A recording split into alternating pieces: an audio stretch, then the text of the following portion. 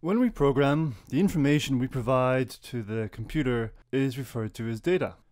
The first of our basic data types are numbers, including integers, for example 3 or minus 111, real numbers or decimal numbers which have a floating decimal point are called floats, such as 9.81. Complex numbers are also catered for, and here j is assigned to be the square root of minus 1, which is an imaginary number. Besides numbers, we also have strings, which resemble words. Each string is comprised of elements or letters, and they're defined using quotation marks, such as name and surname, or even a space, which is an empty character. The next data type may be slightly less familiar to you. This is a Boolean data type, which can be either true or false. For example, we can test whether the variable name equals mark by calling the bool function, which evaluates the name equals mark as true or false, and in this case, it returns true. Before moving on, let's practice with these basic data types. Here we have a Jupyter notebook, and in the first cell, we'll practice with the basic numerical data types, starting with integers. Here we've got an integer data 3. When you assign variables in Python, in this case the number 3 is stored in memory and a variable name a points towards that location in memory. So the assignment of variables is relatively symbolic in the sense that the data itself, the numbers, are stored in memory and the variable names point towards the location in the computer's memory where that data is stored. So here we've created four objects in memory and the variable names point towards these locations in memory. As you define these variables in memory, the variable names enter the namespace. You can provide an overview of this namespace in Python with the command whos, which prints out what variables are being defined in memory, what type, and in some cases, how much memory these variables are using.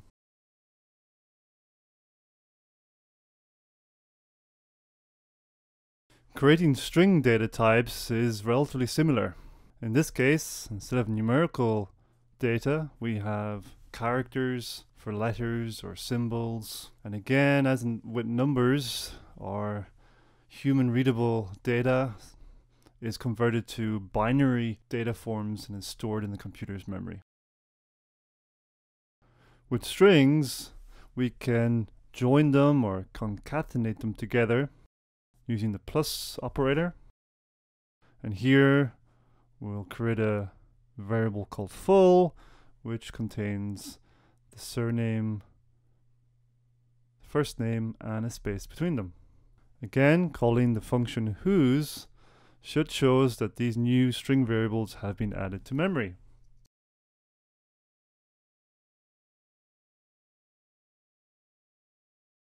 Next, let's practice with a simple Boolean example.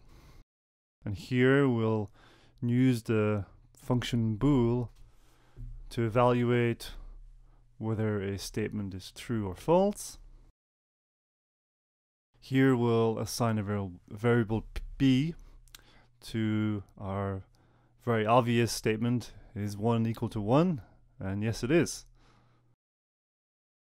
And in our next example we can show that we can, we can easily combine the print statement and the boolean function statement in one line so we can test for example is our variable n equal to 2 and no it's not it's false. n was defined as equal to 3 and if we experiment we can also test if g is 9.81 and it, yes it is. It's true. So it's a very simple function and you'll find a place for it in solving different problems when you want to check the value of a, of a variable and act on whether that variable is true or false It is very easy to convert data types from one type to another. In Python, we've got three basic functions, int, float, and string, to do precisely that. We can also list what variables we have by stating the type of the variable, and as we've seen earlier, what variables we have stored in memory using whos.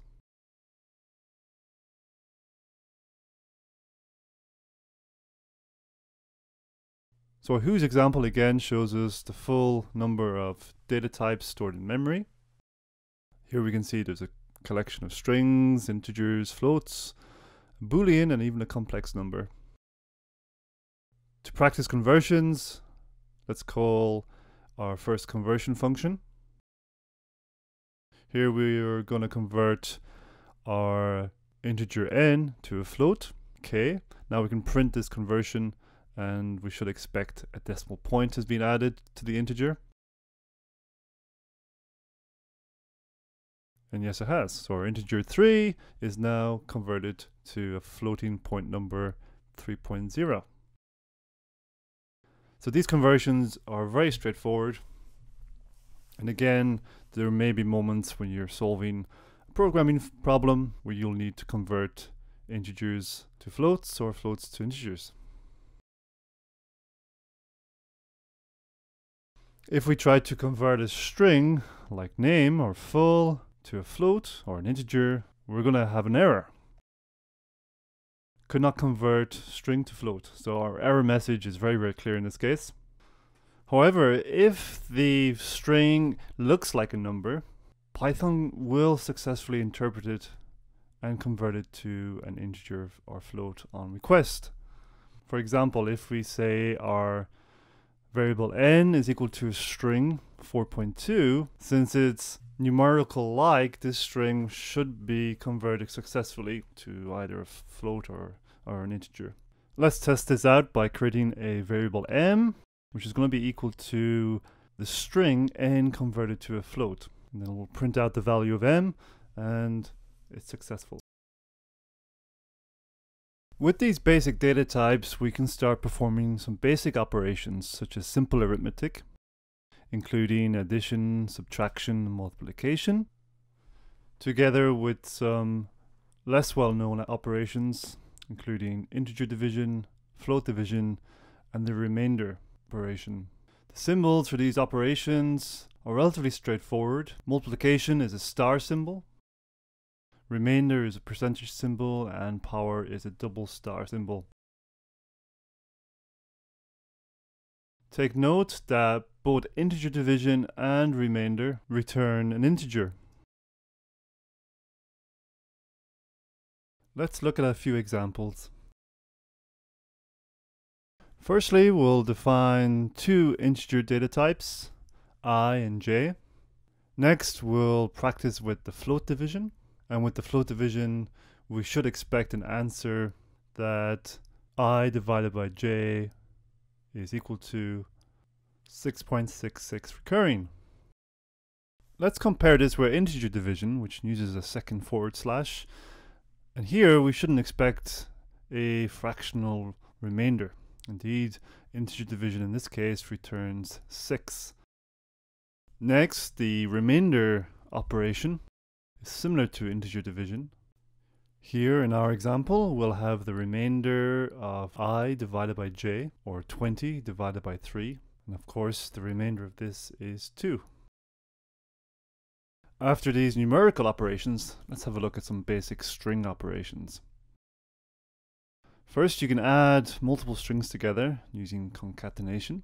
It is also possible to multiply a string by an integer and since a string is a sequence of elements comprised of letters or symbols, you can also use the length function to return how long or how many elements the string has. And you can index the position of these elements using square brackets with an integer. Let's look at some simple examples with string operations. Firstly, we'll define some simple strings for name and surname.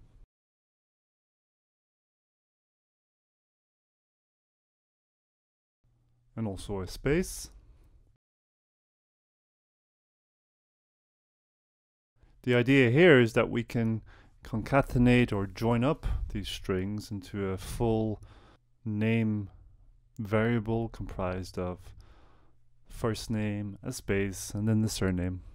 Once we print this out, we can see that we now have a new string called full, comprised of all three initial strings. Next, let's see an example of string multiplication. Bear in mind that the multiplier here needs to be an integer. You will get an error if it's a float. After that, we can show that the length of the string has so many characters using the length function. And we can index the first character as index 0 in the square bracket. And we can define a new variable for our initials. Indexing is a topic that we'll cover in advanced data types in a future lecture. But for now, we can show a very simple example of indexing from the first character or element, which is index 0, and we can cycle up from 0, 1, 2, 3, and on and on. However, if our index exceeds the maximum index of that string, we'll get an index out of range error. With strings, we can also slice or select a subset of the string. Here we've got the first three characters from 0, 1, 2. And we can also define not just the beginning character, but the end character using the index minus 1.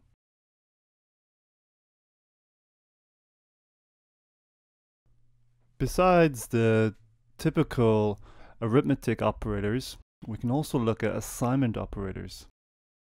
The basic assignment operator is equals, which assigns the value on the right to the variable on the left. The other assignment operators shown here are essentially shorthand versions of plus, minus, multiplication, and so on.